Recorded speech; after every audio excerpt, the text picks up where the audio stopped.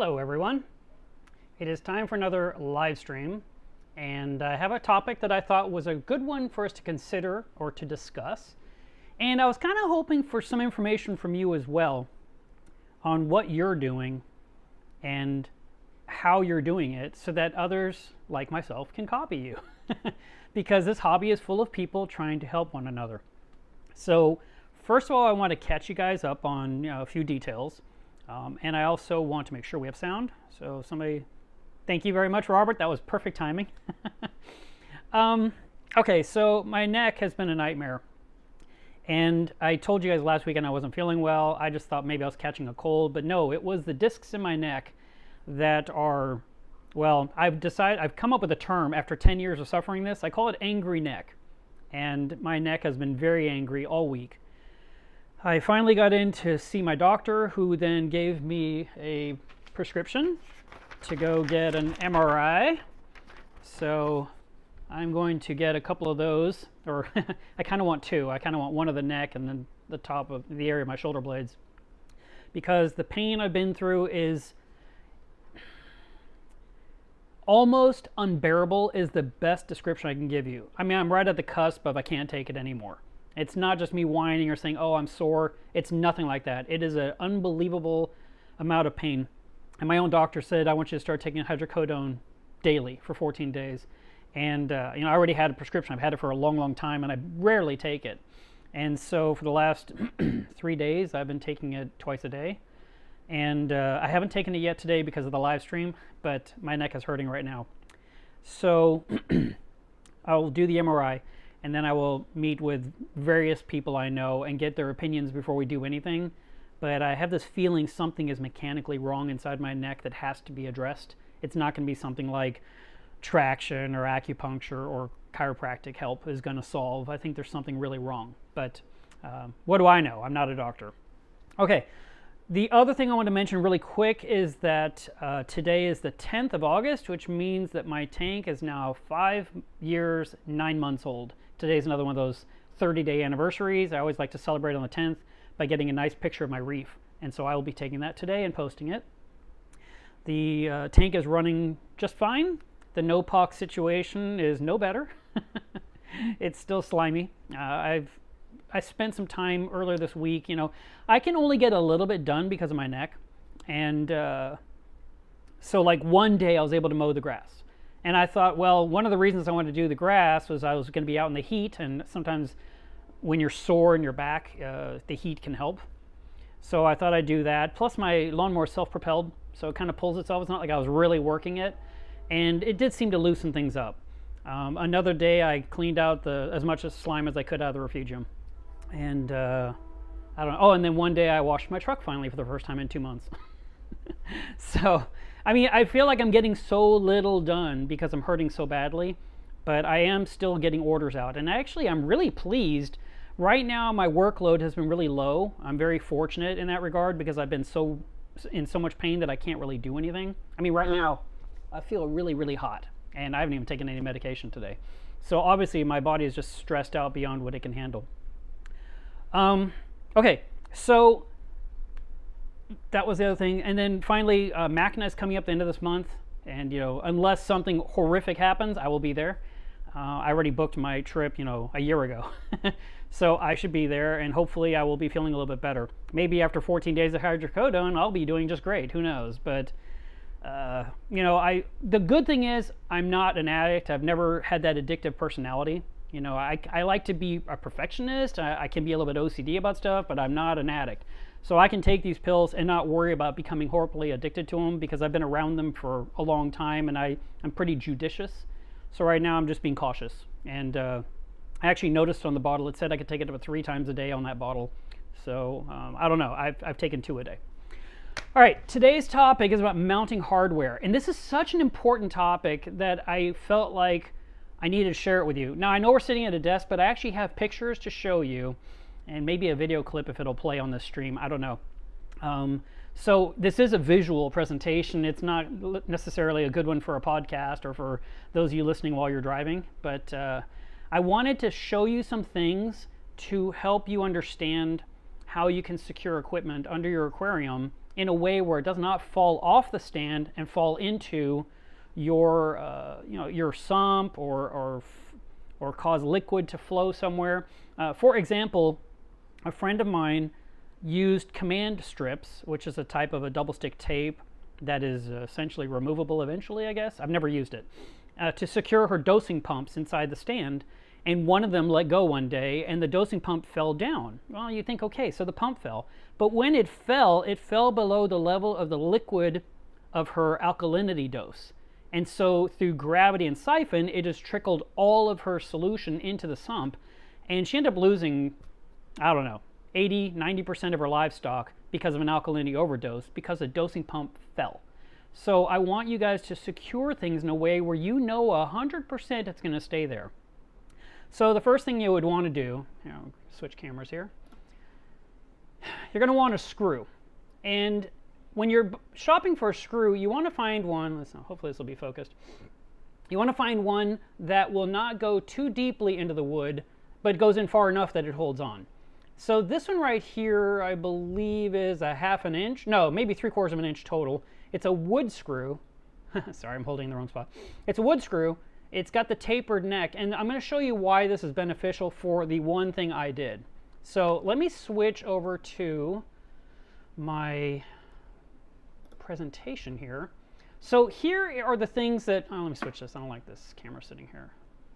How do I switch this? Hang on, give me one second to think me try this. Yes, there we go.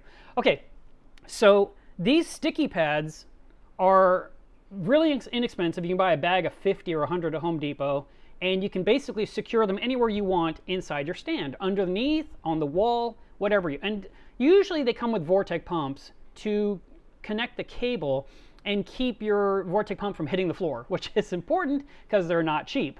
But I was looking at the inside of the circle and it's tapered down there. It's got that recessed spot, which is perfect for this screw to go in. So let me switch pictures here. Uh, sorry, I got to move things out of my way as usual. All right. So now there's a sticky pad that I've affixed on the underside of my aquarium, and then I put a screw through it to hold that sticky pad in place. The reason this is so important is because you don't want to rely on the glue of the sticky pad to do all the work. It's great for getting into place and holding it there while you're dealing with a drill. I mean, think about that. How convenient is that? You're like, and then you can go ahead and put your screw through it and keep it there forever. The the use of just using the sticky pad is fine for a situation where you're not worried about something fall, you know, being pulled off. These don't hold forever. Even if you were to replace this sticky stuff with a better quality tape like the 3M one that I really love, it still could at some point let go. So putting a screw through it is your best bet. And uh, all I did was use a drill, of course. And then when you've got it in there, you can see like the picture on your screen, it's completely recessed so it doesn't block anything. And then you've got these little slots that you can run some zip ties through it to secure a cable or whatever you want to do. But I want you to give, give some thought to this because I felt it was something you could do. All right, uh, next picture shows my power cable. Now this right here that you're looking at is the power supply that is feeding my cooling fans on my sump. And the power, the plugs are so large and the distance was so far from the apex, I had to run a six foot extension cord, I think, six or eight feet. So I went ahead and I secured it and then I cut off the excess of the zip tie with a uh, with some uh, wire cutters. And I want to show you also, I verified that the screw was not going to go in deeper than the thickness of the wood under my aquarium, because the last thing you want to do is accidentally drill a hole or drill a screw into the glass bottom or acrylic bottom of your aquarium. So by having that, you know, verifying the screw cannot go too deep, it gives you one more assurance you're not going to make an error and have uh, the tip of the screw stick out through the front door of your cabinet, stick out the side, or poke through and hit the tank, like I said, or the sump, or whatever it is you're doing. So I hope that this kind of helps you uh, with that regard, you know, to understand it. So here's my power plug, and here are the fans in place. And then here I actually used another sticky near the three prong plug or the three outlet plug of the power cord. That was pretty heavy. I think I used two in that spot. Or yeah, I used one on this end and then one on the far end you can't see in the picture to support it fully so it could not fall into uh, any water. It's up safe and sound. Also, you'll notice there's that metal bracket in the foreground of that picture right there. And that metal bracket is how I adjust the hanging of my refugium light by moving that S-hook from one hole to the next hole. So I can have the light hang at the normal height, which is that hole right there that's in.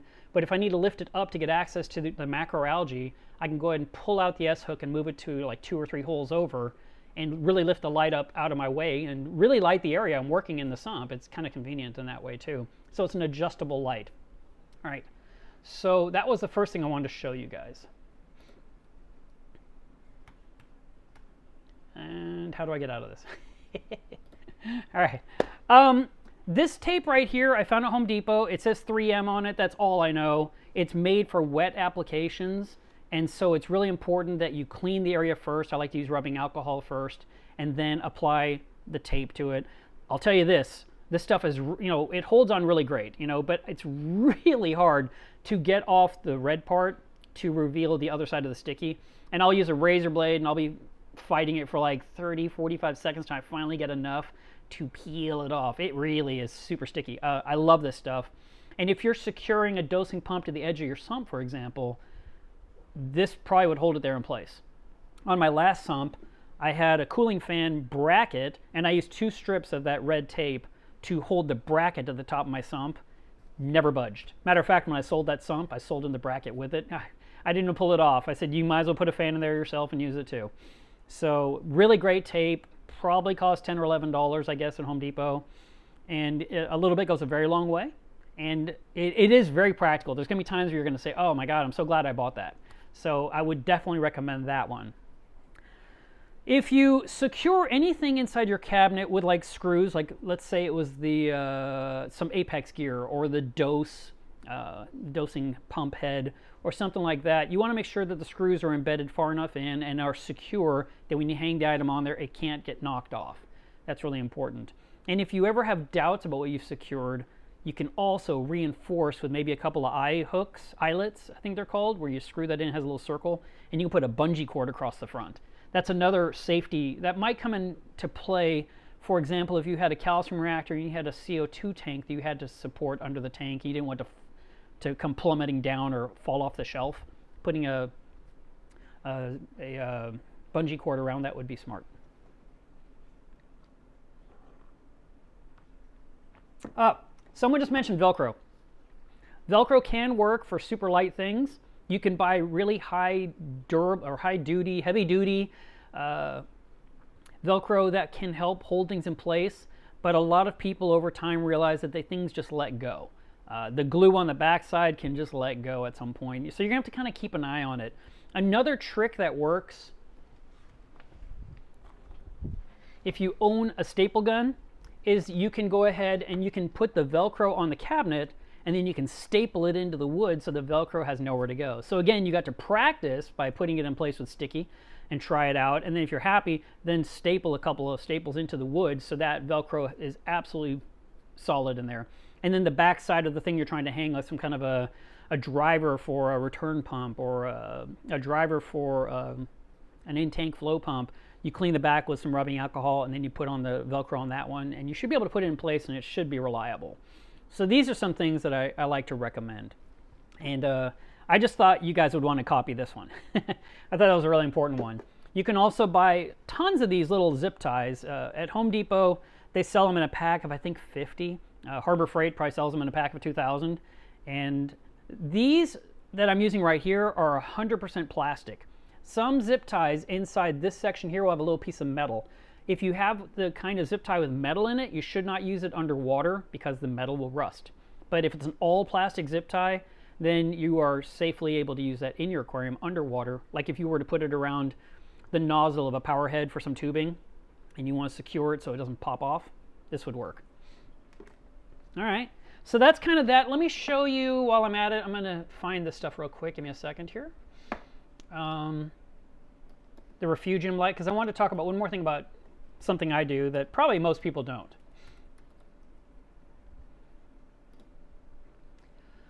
Alrighty, um, let's switch screens again. And this time I'm going to try to play the video. I don't know if it's going to play for you guys or not. So we'll see what happens here. Uh, okay. Hey, it's moving. All right, cool. So that was my old Refugium light that I installed uh, nine years ago, and it hung on stainless steel cables with that S-hook system I showed you where I could elevate it and lower it. This light is really heavy. I think it weighs something like 10 or 12 pounds by itself, which doesn't seem like much, but it's quite a bit for a light. And then I replaced it with uh, this one, which is the XHO. Uh, let me do, no, we'll do this one. so this one here, you can see it's kind of moving because I just, I barely got it hung and I grabbed the camera instantly and filmed it. so it's rocking back and forth a little bit. Now, what I did with this light is I hung it with fishing line. And that has been my go-to for the last few years. I've just found fishing line is so much easier than anything else. And it, I can just tie a knot. I can cut it with scissors. I can use a new piece. I can replace a piece. It's no big deal. So what I'm suggesting to you is that you go find yourself some of this at Walmart. So this one here is the 50 pound test. So it's a pretty thick fishing line compared to, I guess, what most fishermen use. I don't, I don't know. I am not a fisherman. I, am a coral guy. But I love this stuff, and it's super dur durable. And when you're hanging a light that's like five pounds, and let's say that light has four screws, like four different hanging points, that's uh, like 1.25 pounds per corner off of a 50 pound test uh, fishing line. So I would just secure this onto the light, tie a really super duper knot, and then I'd run it up. And I did take some pictures. Now we got to switch to my phone. I apologize, guys. Let me um, see if I can do this with a lot of notifications. Let's see if, oh, go. My uh, computer's ready for this. All right, so let me find some pictures here. So here is a picture. And you can see my finger pointing at where the fishing line is, and you can see the line going straight up vertically. And here is the bar with the S-hook, and you can see the fishing line holding on. And here I can kind of, whoops, zoom in a little bit. So you can see that's fishing line with like a super knot. And what I did was I ran my fishing line through one of my sticky pads. And that way it's a slider. So better than a roller or uh, some kind of a guide, I just used a sticky pad. I also used a sticky pad on the other end right here to keep the fishing line over this pipe. Oh, I'm sorry. I moved it a little bit too, I moved off frame. Okay, so that right there is a cross beam that my, my uh, walkboard goes into. And I put the fishing line over that because it's super strong, it's steel. But then it was moving around a little bit, so I took a sticky pad and I secured it on there so that way the line has to stay in that spot and can't move to the front, can't move to the back, and it keeps the light hanging perfectly over my refugium zone now. And that was all the pictures. And so, uh, did I have one more? Yeah, so I've got this one here.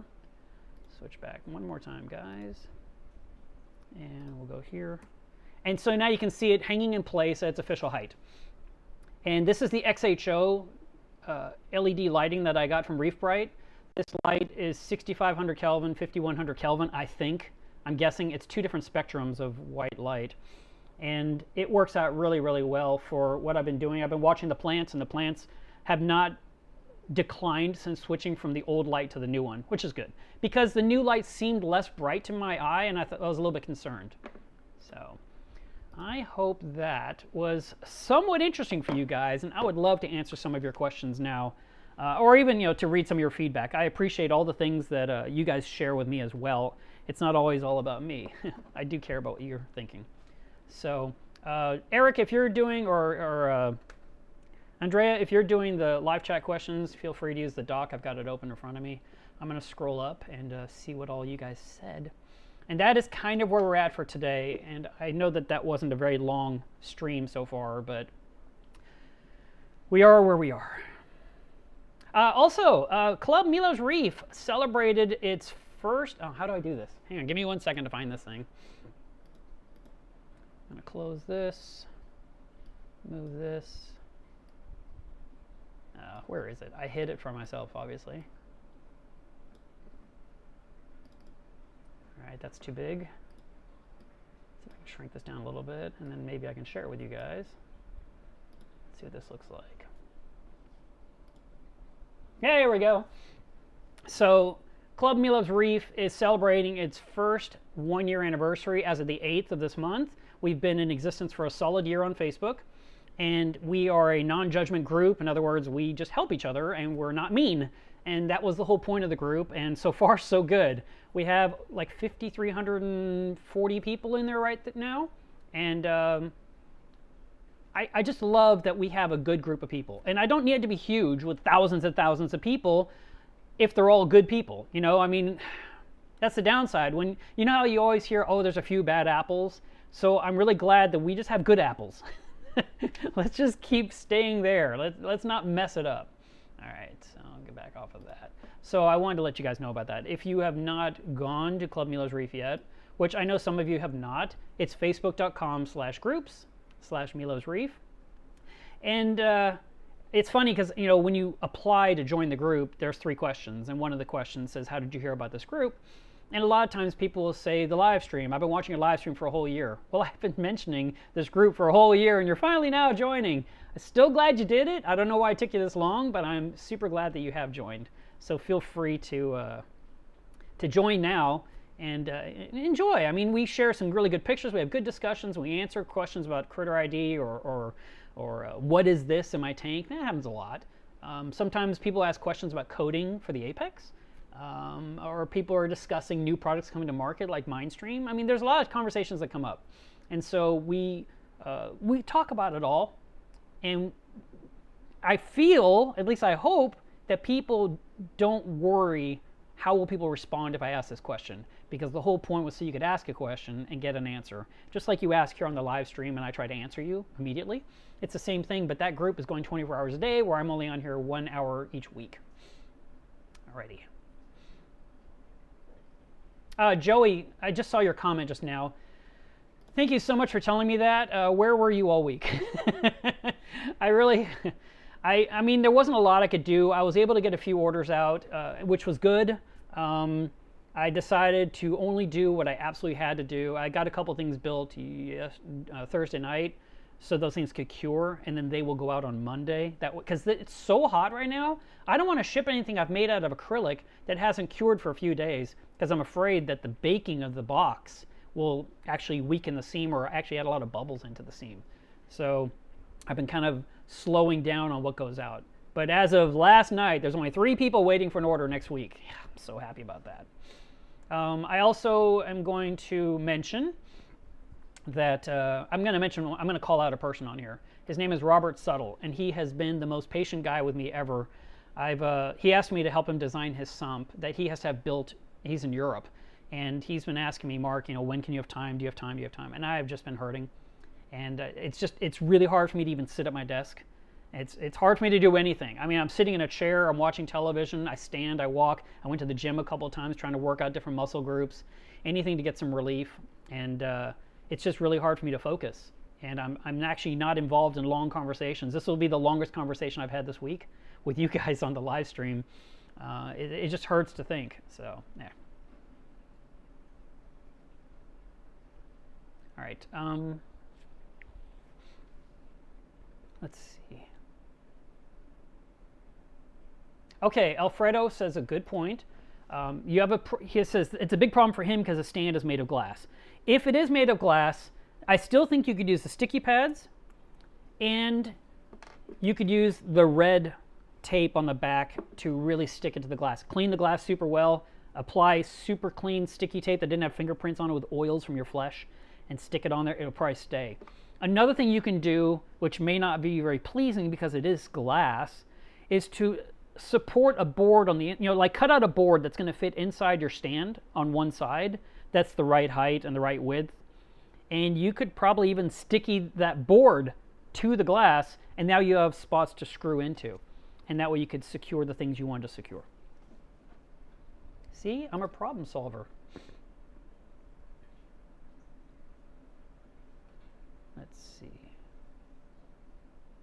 Uh, the Lone Aquarius says that this is a good topic for earthquake country like California. Absolutely. And matter of fact, uh, I guess I should take this one step further.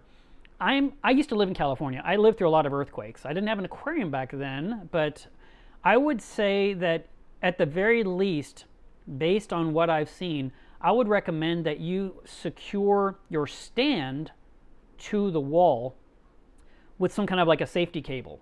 Like if you had an eyelet, again, screwed into a stud, and then you brought a cable out, you know, like a, stainless steel wire, and you looped it through something on the backside of the stand, and then you crimped it so it stays, that would keep the stand from moving away from the wall.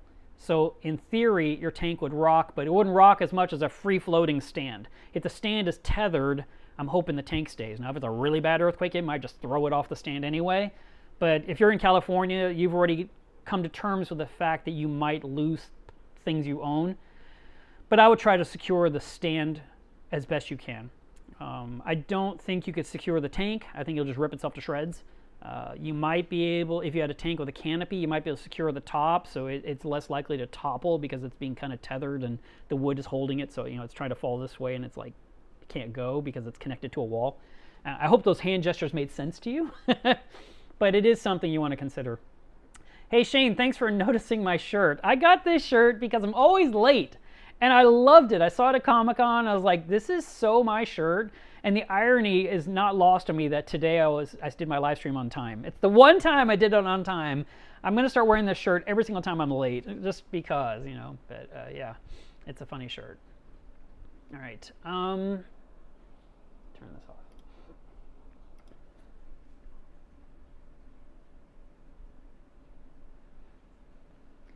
Uh, someone made the comment that your his CO2 scrubber was knocked off by his granddaughter.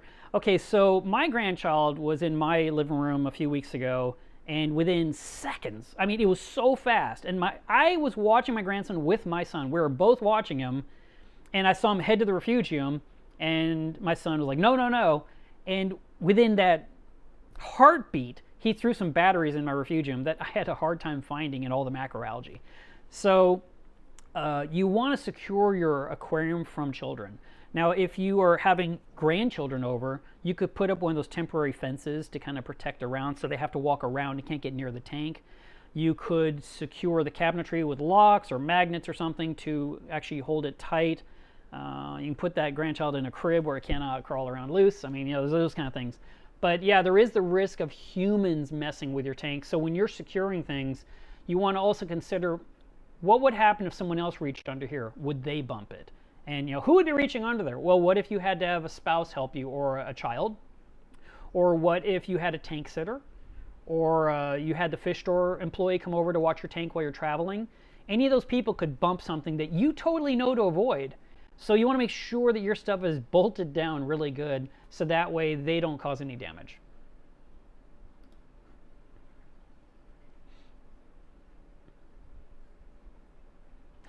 Joey says zip ties are the duct tape of reefing. They really are. Zip ties are awesome. All right. Hello, Jacques. He says he's here from South Africa. Thanks for tuning in on the live stream. Uh, James says, is your Refugium light available in 24 or 36 inch fixture?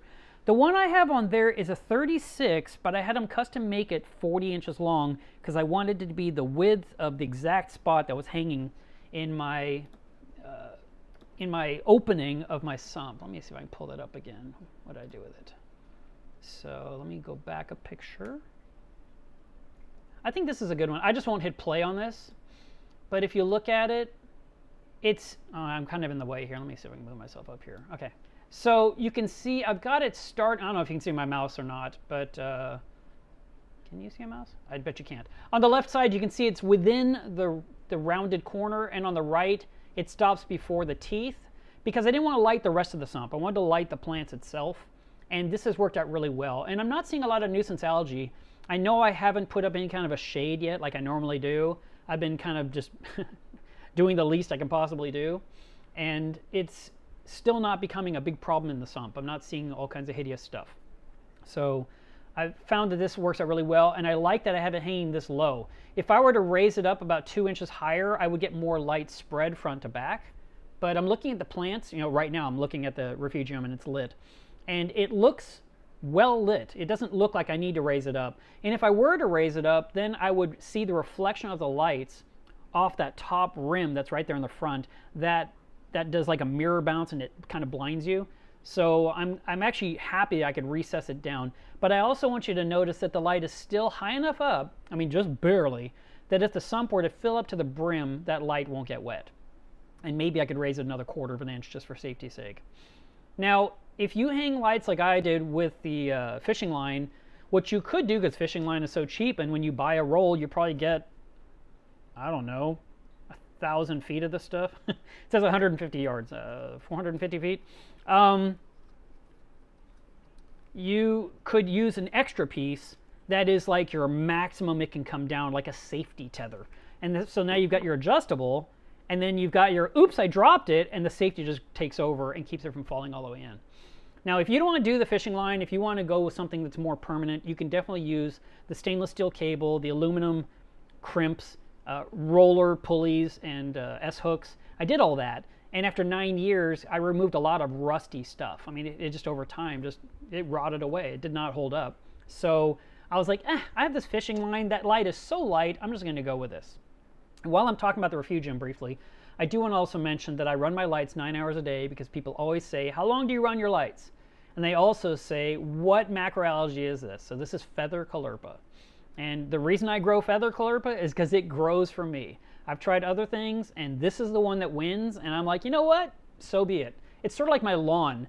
I have St. Augustine mostly, but there's some weird stuff growing out there. And I'm just not worrying about the other stuff. It's green too, so I'm going to call it good.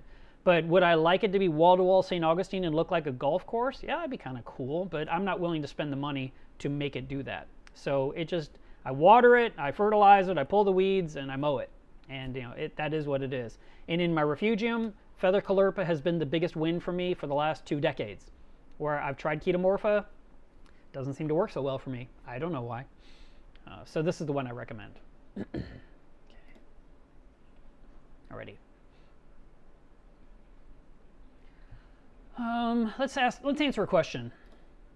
So Anna Marie asks if she can use fluconazole to defeat hair algae. You definitely can, and the product does work. And you're going to follow the instructions very carefully. I think I just watched a video on Marine Depot's website that went into all the details of how to use it. And the product is called Reef Flux, and I do sell it on my website. So if you need that, I've got it in stock and I can ship it out. The, uh, the product needs your skimmer off for at least two weeks, probably three. And that way the medicine can just work on your tank and help uh, to kill off the algae that's bothering you.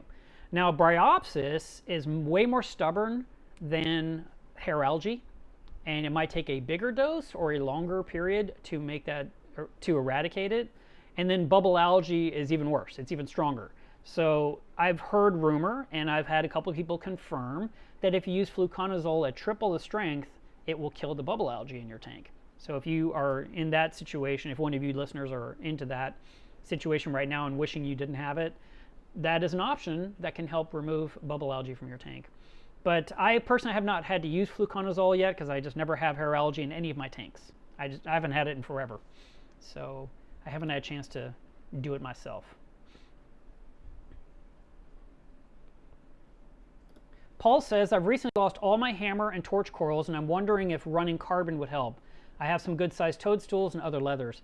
Yeah, I would bet that your leathers are affecting your LPS corals. And so I would definitely recommend running carbon. And last week's video was about carbon, and then I have a, a, an actual video, uh, an edited video about running carbon. And basically, I'm recommending you put in a reactor. I'm recommending half a cup per 50 gallons of water volume, and rinse it really well. And uh, the flow going through the carbon should be very slow, and it will only last you a few days. So that's me summarizing an hour into what was that, 40 seconds? So, but you can watch the whole thing if you want to learn more.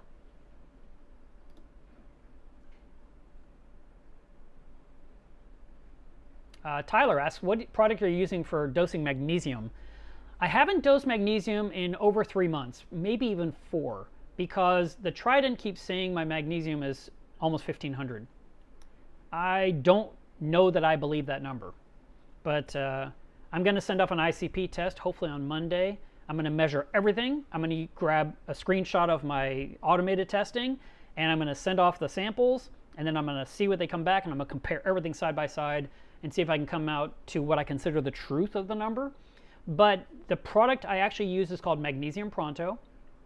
I sell it on my website. One small jar will make five gallons of magnesium solution. It's like 20 bucks, $21. And I've been using that one for magnesium for the last few years. But I stopped dosing it when the Trident said my magnesium was so high because I only wanted around 1400 ppm and it was a little too high. So we'll see. But uh, when I go back to it, I will be dosing it again. I have a couple different dosing pumps that I use. And normally what I do is I make up a gallon, I stick it under the tank, and I hook it up to a dosing pump. And I let the dosing pump add 90 milliliters a day until the jug is empty. So if that takes a week, 10 days, whatever it is, once it's empty, I'm done. I don't do it again for like a month because usually you have to add a lot of magnesium and it finally brings the number up and then the number stays up for a good long time. So I'm not one of those guys that doses magnesium every single day for the rest of my life. I just do it once a month. And like I said before, I, I haven't done it in three or four months. And my tank is still alive, so that's a miracle. Harkins asked me, How's your hand? Well, the thumb is completely healed. The finger I burned is, you can still see a little bit of a scar there. I don't know if that's going to fade away completely or not. I cooked the hell out of that finger. And uh, while you, there's no like damage, it's completely numb. I keep bumping it and it's not, it feels bad. But works great. I'm very lucky uh, and they completely uh, took care of me. So I appreciated that that was done. Let's see. Rosano says, My hippotang has lateral line disease. Anything I can do to help him? You would want to see if your tank has stray electricity. You would want to improve your tank's diet with better foods, possibly. And you would want to make sure that you are not putting in so much carbon and carbon dust in your tank to be giving your fish the HLLE that it's suffering from.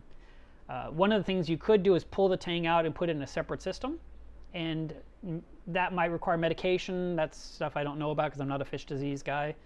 But you, if the tank does better in a different tank, then you need to go to the first tank and find out what is wrong in there that affected the fish and can you correct it so when you put the fish back it's safe and healthy.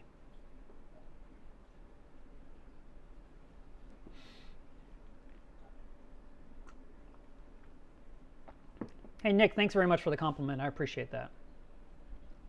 Hey, Kevin, guess what? I uh, got your Apex gear in. I just haven't called you and let you know because I've been hurting. so it's here if you want to pick it up this weekend. Actually, oh yeah. So last week, no, beginning part of this week, I got in all the Neptune Systems gear that I ordered. I ordered a whole bunch of gear because I'm start selling it for my shop. I've had the option to sell it for over a year, and I finally pulled the trigger and did it. And I ordered uh, some Apexes, uh, an Apex EL, or LE, I always say it wrong. I think it's EL. Um, auto feeders, uh, breakout boxes, Aquabus cables, uh, sensors, uh, auto top-off kits. I try to get a little bit of each thing. I didn't buy everything. There's like 98 things that Neptune sells but I got a small amount and I've got to take everything and photograph everything and get it updated to the website and put it up there. And so in the future, if you guys want gear from Neptune, I could be the guy that you buy it from. And since I've mentioned my website a couple times now, I might as well stick it on the screen. MelevsReef.com is what supports me and allows me to pay the bills. And then, you know, I usually say so I can eat and so Spock can eat. But in this case, it's going to be to feed the doctor. so anything that you buy is going to help me stay in business and take care, good care of you guys. So I appreciate any business I get. Cool guy Simon. I just figured out how to comment on your YouTube while live streaming. Well, welcome aboard. You're in the conversation now. Uh, thanks for following the channel since the beginning. And uh, yeah, I'll keep trying to do good work.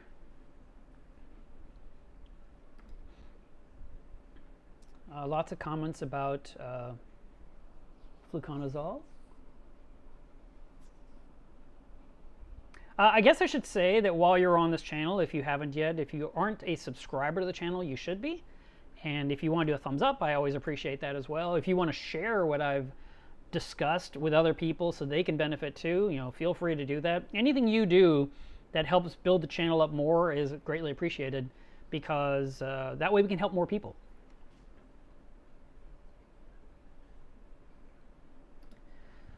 Uh, Discus Keeper says, I have a weird problem with my skimmer. It's the Bubble Magus Curve number 9. It's just fizzing and not really producing foam. Let's pretend you haven't added anything to the water that would affect the skimmer, like oily foods, like PE mysis, for example. Have you checked on your skimmer multiple times per day to always see it looking like that?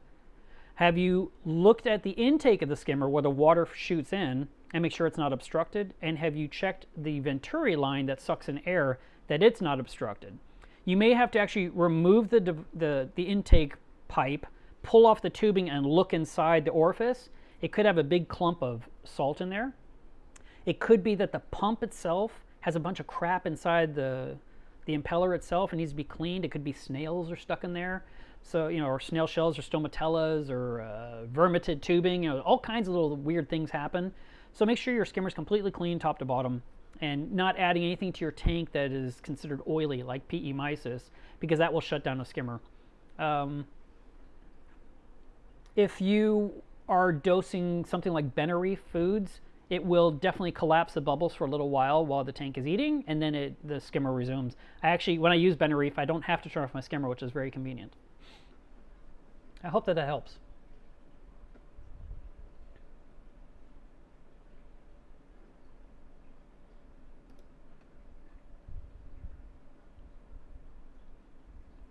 Um, yes, I did. I had an operation over here um, four years ago. So I'm wondering if it's time for another one, which means another cut. But, you know, if it happens, it happens.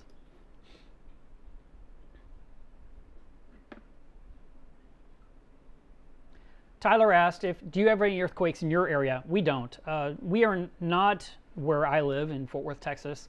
We aren't on a fault line. I do think there's one somewhere in Texas, but we haven't been hit by any kind of an earthquake uh, ever that I can think of. And I've been here since I was 17. Yes, I got the Trident way back when they were still in NSI testing, and they asked me to be a tester, and so I've been running mine for several months. And I did a, a uh, an unboxing video about it, so now I just have to film like all the rest of it so I can get that out to you guys.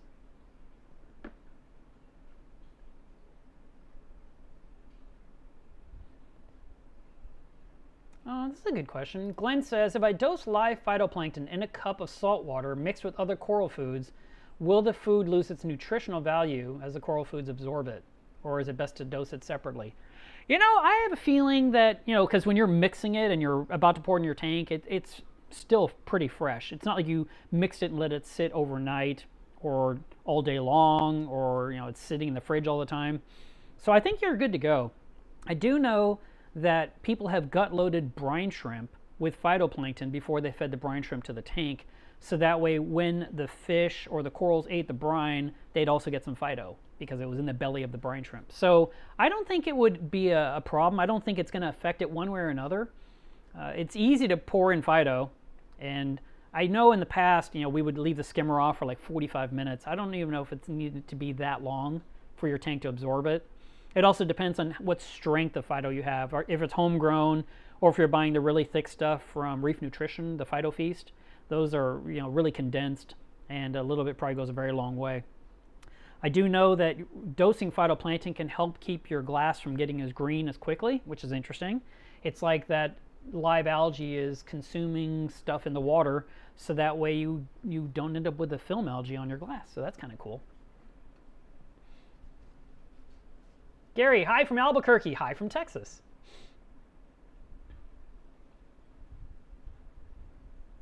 Ah, I'm sorry. I didn't get that part, Alex. Sorry.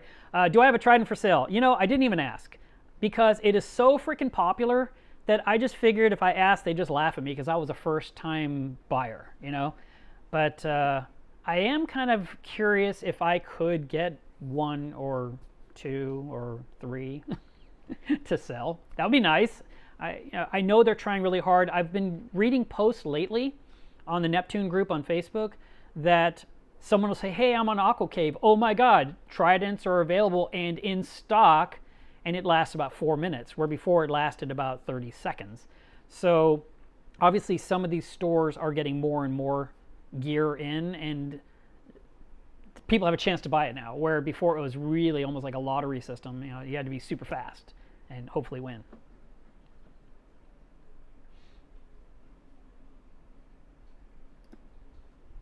Uh, the tours that I usually do are on the anniversary year of my tank. So if you wanted to see a tour that already exists right now, since you know I'm kind of down, you can go to the five-year anniversary tour. You can go to the four-year anniversary tour. You can go to the three-year anniversary tour. All of those pretty much do. I do a full walkthrough of the tank and show you all the latest. So this year should be good because it'll be the six-year anniversary, new sump, new top-off container, uh, new refugium light, new fans, Trident, uh, something else can't talk about. Um, I'll have a new pump hooked up to my saltwater storage vessel by then. Um, uh, dosing pumps. So, I mean, there's a lot of new things that have changed since the five year anniversary.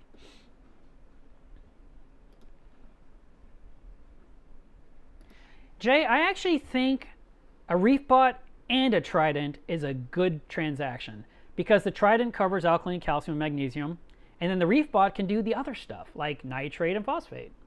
And the Apex itself will do pH, temperature, and ORP, and possibly salinity if you buy it with that probe. So you could pretty much cover almost everything.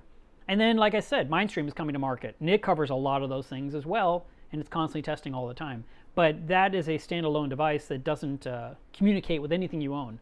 So it's more like you're informed, and now you can go turn a dial, adjust a knob, switch a switch on or off to adjust what you want to do. But you're not able to control automatically. Like I can program my calcium reactor based on what the Trident's results are when it comes to alkalinity. But yeah, so I feel like those two go hand in hand, and it's it's a direction I would lean myself. The Trident is not standalone. It is a testing device that is plugged into the Apex, and you have to have the current Apex, not the old classic version. And when you hook it all up, then it will start communicating and do its job. Screams Reef says, Will you be Reef of Reefapalooza, California this year? No, I am not going anywhere. If I'm going anywhere, I'm going to the doctor. uh, that is the one trip I chose not to make this year. You know, I get a lot of invites to a lot of places, and, you know, there's other, like, I was considering, oh, I want to go to Reef Reefapalooza in New York because I've never been to it. And I wasn't able to go. I was too busy. I think I was building my new sump. And then I turned around and I came into, uh, you know, I, I mean, this month's rolled in. I was like, ooh, Aquashella, I mean, uh, Reefapalooza California is about to happen. And I was like, no, because I'm doing MACNA and I'm doing Aquashella. So I've got those two trips. And I've got another one coming up after that, which is, I believe I'm going to Iowa. Uh, Grand Rapids? I think, no, that can't be right. I can't remember where I'm going. I'm going somewhere. Um, so that trip has been booked for a speaking engagement as well. So those are three things coming up. Um, Rosano, I don't know the answer to your question. I actually own the solenoids. I've had them for a while and I haven't hooked them up. I feel like I don't know enough about them to use one yet. And I, I, I heard something that was probably a rumor and probably not true. But since I haven't found out the facts, I just haven't touched it. I need to actually go do my research, learn how it works, learn how it doesn't work, and uh, then decide how I want to implement it on my system. When I bought it, I bought it a very long time ago, probably two, three years ago. Still brand new in the package. I haven't even unwrapped it yet. I wanted to hook it up to my RODI system to, I mean, wouldn't it be cool, like if your floor gets wet, it closes the solenoid, no more water goes in the RO unit? That's a good solution. Or if your top-off container is full to the top and the sensor registers on the apex it's full, it stops the water going into the RO system. It doesn't stop the water coming out, it stops the source. And so I was thinking I would like to go that route. But and so I bought all this gear. I think I spent like $300 for all the pieces I needed. And then I realized I had to run an Aquabus cable through my attic from the utility room all the way to the fish room. And that is the last thing I want to do. so that project has never been done. And so I have all that brand new gear that's never been hooked up. So that was the long version of the question you asked. Will it work? And where do you put the screws? I don't know. I apologize. Uh, yes, uh, I knew this was going to come up. Samuel, you busted me. No clarity yet. Uh, God, I really thought I would get that hooked up this week, but then I felt so rotten that I couldn't go deal with the plumbing under the tank, uh, you know, to get that one. Because I've got to remove the sock box, put in the new stand, put the ClariSea in place. Then I got to hook up some plumbing parts to the ClariSea from my emergency drain bulkhead. And I know it's going to involve some work and some plumbing. Uh, I, I might just press all the plumbing together, not even glue it because it's in the sump. But I don't know. And I just didn't have the energy or the desire. I was just hurting too much. I mean, I was literally debating do I go to the ER and just have them cut me open and start figuring out what's wrong? I mean, it was really bad. So I was very fortunate that this week I never finally hit a migraine. It stopped before it got to that point, but it was so darn close. And migraines are the worst. I'm not talking about a bad headache. And I, have mentioned migraines in the past. I didn't know what a migraine was. And one of my friends was a, he suffered from them greatly. And I said to him, Can you tell me what a migraine is? Because people always say, Oh, I have a migraine. And I just feel like it's a bunch of BS. And he said, Okay, let me tell you what a migraine is. Imagine someone drilling a hole into your head. I'm like, Okay. And he goes, You got it? I'm like, Yeah, there's a hole in my head. He goes, That hurts, right? I'm like, Yeah. He goes, Now someone's going to jam a spoon into your brain. I was like, Okay. He says, Now someone's going to keep flicking the handle over and over and over. That's a migraine. And I was like, okay, I got the visual now. So I can tell you this a migraine is such a bad headache that personally, for myself, you want to be somewhere completely dark. You want to be somewhere where there's no sound. Any kind of light hurts, any kind of sound hurts, and heat is a problem too. I remember there was times where I suffered so bad I would lie down on the tile floor trying to cool off because the ceramic tile was cooler than carpet or my bed. Um, I've done ice packs. I've done all kinds of stuff, but a migraine is horrible. I used to suffer from them greatly. Uh, four years ago, I had the disc installed that replaced a bad disc, and that reduced my migraines by about 90%. So I was very pleased about that outcome.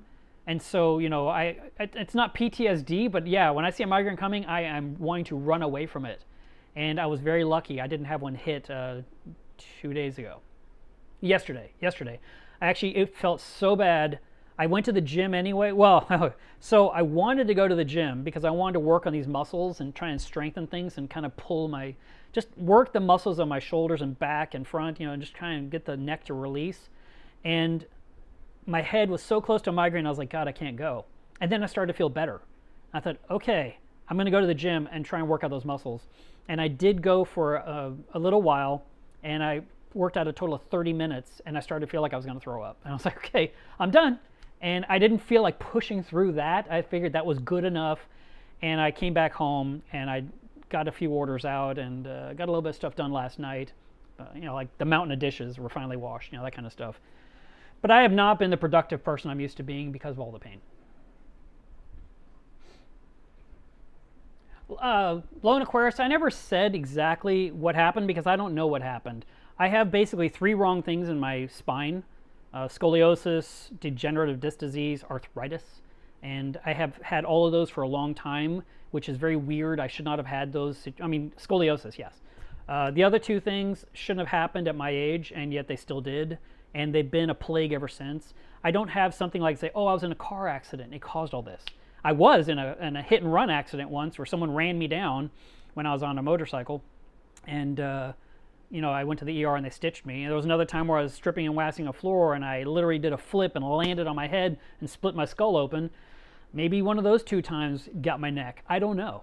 But uh, this all started really being a problem. I mean, it was it was a problem in the early 2000s, and it got really bad in about by 2013. It was super bad. And by 2015, I couldn't take it anymore. And uh, now it's 2019, I'm back to that port where I can't take it anymore. So that's kind of where I'm at. Yes, Oscar, I will be at MACNA. I might as well show you this. So, this is a big reveal. And uh, at MACNA, we are doing a meetup. Is that on my screen here where I can show it with you guys? I don't know where the graphic is. Here it is. Okay, I found it.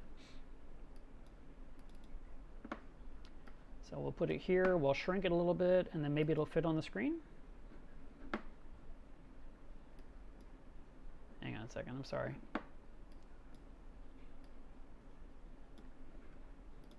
So that is not doing what I want it to do. Let's try this. There we go. So this is the Melev's Reef MACNA meetup. This is the first one we've ever done and it's going to be Saturday at 12:30 in an allocated room that uh, we get to have for basically an hour. And the idea is for us to get together. So if you're coming to MACNA, let's come hang out for an hour. And uh, I'm playing with the thought, if we have a good signal, to do a actual live stream from the meetup. I thought that'd be kind of fun. and we can uh, meet some of the other people that are part of our group here. And when you're there, you are going to get a sticker that says Melev's Reef Community, MACNA 2019, and at the top it says, thanks for being a member. So I have printed these stickers to give out at the meetup. And uh, I know you guys are going to say, mail me one, mail me one, I can't go. Well, I'm doing it meetup first, and we'll see what's left. But yeah, I printed up some stickers. So that's coming up. There's also something else. Also, I have a few things I think I'm going to bring as door prizes to give away during that hour. So it should be a fun thing, you know, and you know, don't expect, you know, a per, uh, a presidential parade. Just expect it to be a casual gathering that'll be fun. And uh, after our meetup is done, the following meetup in the exact same room is Reef Trace, which is my app. So if you don't have the Reef Trace app, I want to recommend that you get it. Uh, they've had a lot of changes installed recently to make it even better than before. The Android version will be completely up to date to match the iOS version by before MACNA, so you can look forward to that. The, the way you log your parameters has changed and changed and it's gotten better and better over the last year. So if you haven't got it yet, you can. I believe it's $3.99 and it has some really cool features besides logging your information. There's a huge section on just notes and documentation for you to keep track of things. I love the LFS locator that's built in, and so I, I highly recommend it. So I will be probably wearing a Reef Trace shirt on Saturday. I might have to change shirts for the meetup though. Alrighty, uh, let's see. Matt, I am so glad that you're coming to MACNA. I'm because I tell everyone every year you gotta go. I mean seriously, guys, you gotta go.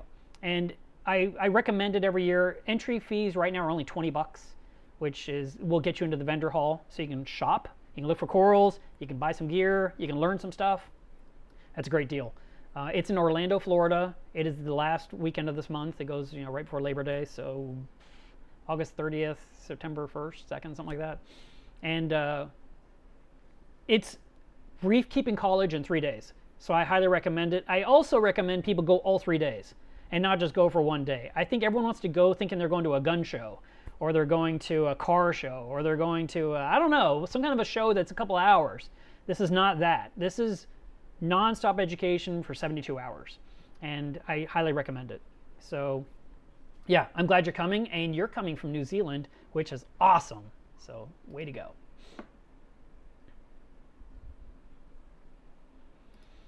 Dan says I have a budget of $750 for a sump. Can you design one for me that out of that, you know, for that price? Yeah, I, I can. And uh, it just depends on the size of the aquarium. So get with me, send me an email. Um, there's a contact us link on my website. Send me the email. I have been staying on top of emails. So if you have not gotten an answer from me, I never got it because I've been really good about staying up to date with those. And that's always been a hurdle for me because there's so many emails coming in every day. But like right now, I'm completely caught up with everybody. See, I knew it. Tyler says, I need the sticker. Joey says, I will have my landscaper mow your yard for a sticker. You know, I might actually be convinced to cave in on that one. That's a hell of a deal, Joey. but you have to stick it on your bumper before you leave. All right. Uh... Okay, Lisa, let's stick you on the screen here. We're about an hour in. We have, uh, see, no one's feeling well today. We're only at 123 people in the group today, where normally we have like 180 or 200. Uh, I disagree about Bryopsis being more stubborn than green hair algae. Fluconazole works great for Bryopsis. It may work on GHA, but doesn't work well for all the turf algae. Well, I consider Bryopsis to be more of a turf algae than GHA, or a green hair algae. it's so easy to say the letters. Green hair algae, I have a whole video about how to remove green hair algae, and it actually doesn't involve fluconazole. It involves phosphate RX. And phosphate RX will remove the phosphate from the water overnight. So if your tank is measuring 0.25, 0.5, 1.0, 3.0, yes, that happens. You can use phosphate RX, knock the phosphate out overnight, you know, use a 10 micron filter sock to catch as much of it as you can, have your nice clean efficient protein skimmer. That means not just a dirty skimmer, but you cleaned it before you did this. Pulling out anything it can out of the water. The next day, your phosphate's gonna be way weaker. Within about three days, the plants will have weakened because the phosphate's gone, and you can start pulling the green hair algae out. And then I want you to take a bowl of water, and I want you to reach into your tank and pick off the algae, put it in your bowl of water, rinse your fingers, put your hand in and pinch, rinse, pinch, rinse, and do this a thousand times so you can't stand it. And then dump out the bowl, and the next day continue, and the next day continue until almost all of it's gone. And once you've reduced 90% of the algae in your tank because you, you weakened it and you've removed a lot of the bulk of it, add that brand new hungry cleanup crew to eat what's left because that's what they're there for. They're there to get rid of algae. You're not, you're not just getting them so you have something to look at and they're not there to clean your glass. I know everyone thinks that's the solution. No one relies on snails to keep their glass clean. but hermit crabs and snails will get the algae off your rock if there's not so much of it. And if you have a lot, you need to reduce the mass as much as you can so there's only a little bit left. And then when you find your snails where they don't belong, put them back on the patches of algae so they'll keep working in those areas because, you know, they're just free spirits. They're wandering around doing their thing. All right.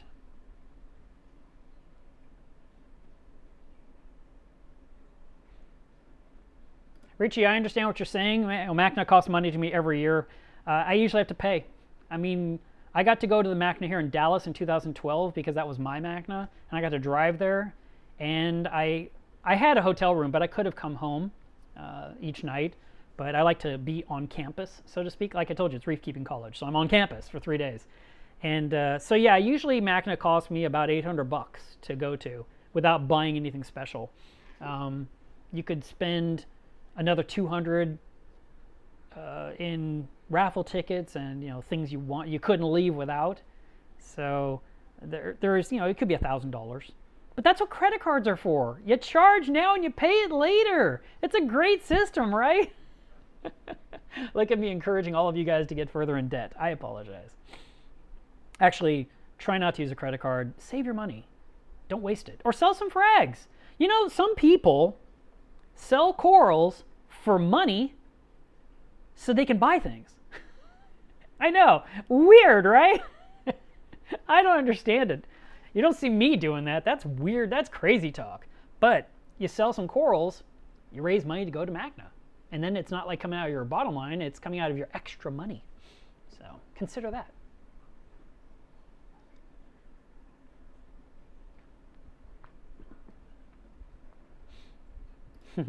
Scott, I have phosphates down to 0.03. Congratulations. And the GHA still persisted. Yeah, it will.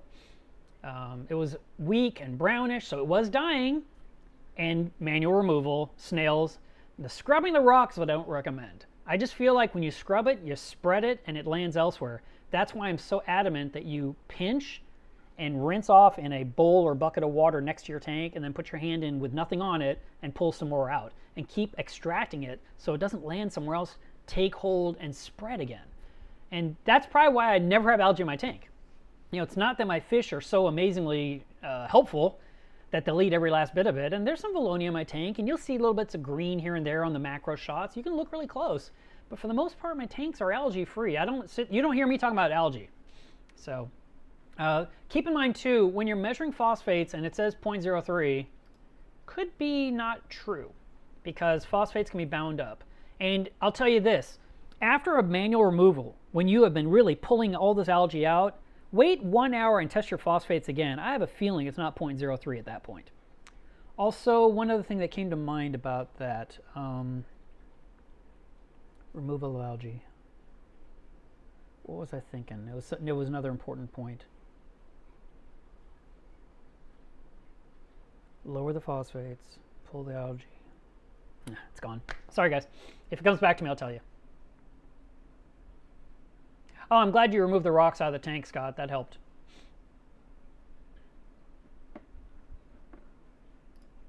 Joey says, I need more phosphate RX. Can I get that from you? Absolutely. And oh, let me throw this in there for you guys. Um, in case you don't know or you're new to the channel, I ship a lot of things on my, I mean, my website is an online business, so I ship. And my default shipping is FedEx. That's what it is. I had an option for post office only, and people abused the heck out of it, and I had to remove it because everyone thought they could ship giant boxes for $6 and think it would happen, and it won't. So I do find alternative ways to ship what you order from me if I can, especially if it's small and if it's light. So if it's a little tiny thing like Phosphate Rx, uh, Benereef, uh, Live Rock Enhance, um, the lids that go on top of your overflow box, any of those things that are relatively light, I can ship them first class. Uh, or I can ship them priority mail, which is still less than FedEx. So I always look for the better deal. So if you buy from my website and you're like, oh, why is he charging me $18 shipping? Odds are you're getting $13 of it back in a refund once I've got your order out. So I, I do. I go in there and I constantly send PayPal refunds to people for a little bit to save the money where I can because I'm not trying to get your money. I, I mean, yeah, I, I, need to eat, but I'm not trying to rip you off. And I see a lot of customers abandoning their shopping cart because they don't like the price of shipping it. And I don't blame you. I get it. I totally get it. So when you guys buy from me, I know you're buying from me because you're doing me a favor. And I really appreciate that. And I am trying really hard to get that corrected. I've talked with my web developer, and he said that he hoped that by the end of this month he could install something for me where I could create like a flat rate shipping for very specific items. And I can say to the website, if they bought this and nothing else, and no more than this many, we can do it for $6. So you can look forward to that.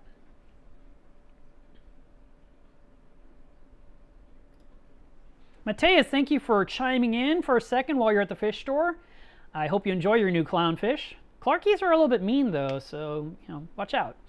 And uh, yes, today is water test Saturday, so please do test your water. Make sure everything is right, test everything. If you haven't done this in a while, it's time to calibrate your refractometer. You want to use calibration solution that's 35 ppt. You put that on the refractometer and then you look through it and it should say 35 ppt. If it doesn't, take the tiny screwdriver and adjust it. You know, you're looking through it and you adjust it till it says 35. You do not want to calibrate with RODI water. It has a bad habit and it's not recommended. So I would highly recommend you get some accuracy, which is a calibration solution that is 35 ppt. And it's it's the way to guarantee that you're very close to our target level, what we're looking for anyway. If you uh, have test kits that you've had for a long time, more than a year, you should replace them with fresh ones, even though they still have liquid in them. Just get rid of them, get new ones. And when you get the brand new one and you open that lid for the first time, grab a Sharpie and write today's date in there so you know that's when I open the box. And that way, every time you open the lid to do another test, you can see if it's still valid or if you've gone too long because calibration, I mean, sorry, uh, reagents don't last forever. And every time you take a bottle and you squeeze in the drops into your test tube, when you let go, you hear it suck in air. This air, the air in your room, the air in your fish aquarium area, uh, whatever, and that is going to actually affect the reagents over time. So they can kind of deteriorate a little bit too.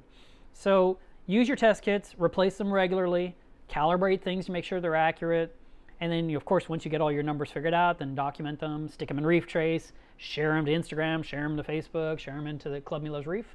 We'd love to see your numbers. Uh, the best part of keeping a reef tank healthy is knowing your water parameters so you can make the small corrections needed before things get really bad. So I highly recommend that.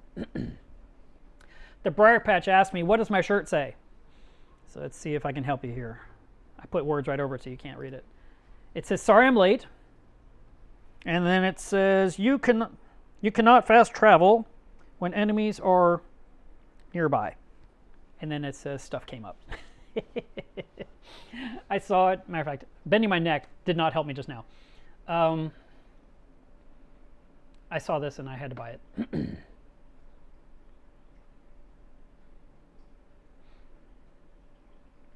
Uh, Perrin asks the question, I have a Red Sea Reefer Nano. First of all, I need to know how many gallons that is.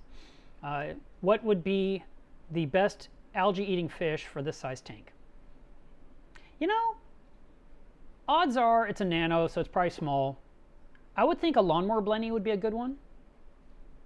And some hermit crabs and some snails. So I would suggest that.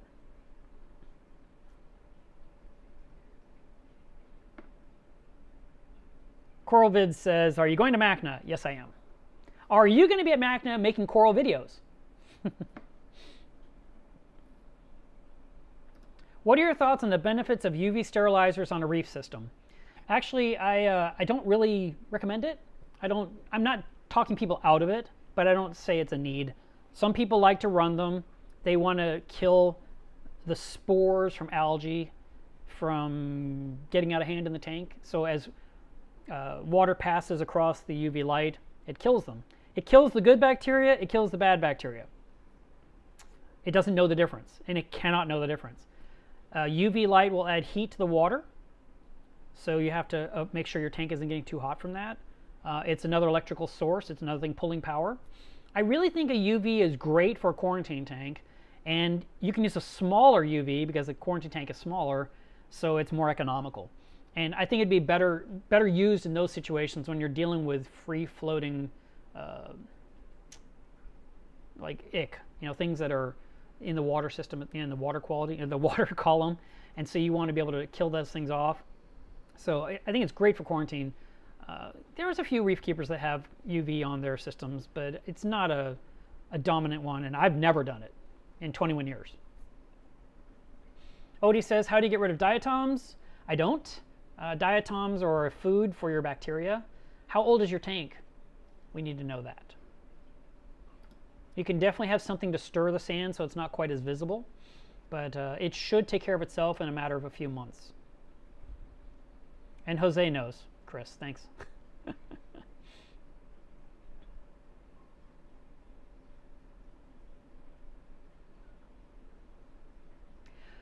okay, um, I think I'm going to wrap it up here, guys. You know, I, I need to go take a pill. Uh, but I appreciate you guys tuning in for the live stream today. I don't want to waste any more of your time. I hope you guys have a great weekend. I will, of course, update you on what's the latest, you know, when I know more. And uh, next weekend will be the 17th. I'll still be in town. So we do have a live stream next weekend. It's always 2 o'clock on Saturdays. And I hope to have another interesting topic that you will appreciate. Bye, guys.